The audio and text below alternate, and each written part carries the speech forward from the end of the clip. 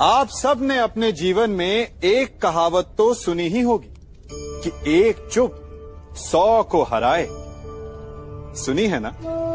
और इसीलिए कई बार हम जीवन में चुप रहते हैं, मौन रह जाते हैं। क्योंकि यह सत्य है कि एक मूर्ख के लिए मौन रहने से अधिक श्रेयस्कर उत्तर और कुछ भी नहीं हो सकता। परंतु क्या जीवन में सदैव मौन रहना, सदैव चुप रहना क्या उचित होता? है नहीं। जहाँ पाप का बल बढ़ रहा है जहाँ छल हो रहा है वहाँ मौन रहने से अधिक गंभीर अपराध और कुछ नहीं हो सकता।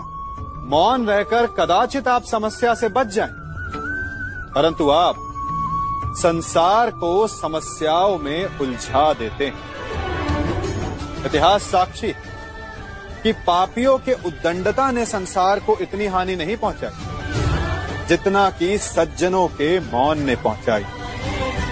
यदि कोई मूर्ख बोल रहा है तो मौन रहना उचित है। परंतु यदि कहीं अपराध हो रहा है, छल हो रहा है तो उठिए और विरोध कीजिए, क्योंकि आप भले ही ना से, परंतु आपकी आने वाली पीढ़ी इस पाप के दंड को अवश्य सहेगी।